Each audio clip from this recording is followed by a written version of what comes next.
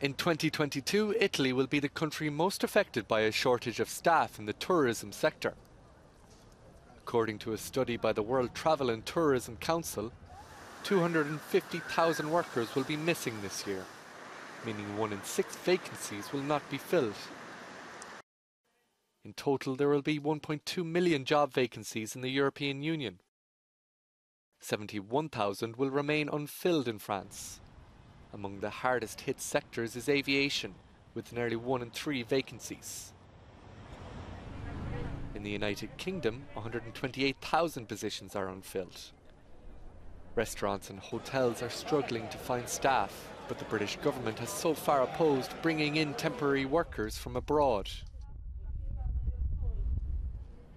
Portugal, meanwhile, is the least affected by staff shortages, with 49,000 vacancies.